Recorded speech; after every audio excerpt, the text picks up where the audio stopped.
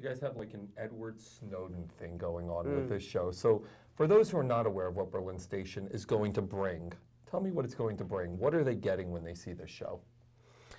Uh, well, you're you're getting a lot of great performances, um, a, a very uh, complex story uh, about people at the CIA, a very clandestine institution uh, that we, we, we, we- we get to sort of dig into the psychologies of these people, um, and you get to track them through a city that also holds its own mystery and history, and it's slick, it's stylish, it's sexy, it's um, it's complicated, and we're also looking at, at issues that are incredibly important today, you And know, relevant. and and incredibly relevant. relevant.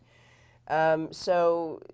And this, and this was a this was a subject I was incredibly passionate about before I started this project. This this idea of information leaking and um, the FOIA and and you know Snowden and Assange and how people are so uh, polarized about their feelings about them. And you know there was a lot of discussion amongst our company as we were shooting, and and I really hope that you know this this story will spark that conversation and ignite and incite some sort of debate over um, I would say, other than climate change, one of the most important uh, subjects that we have to deal with today.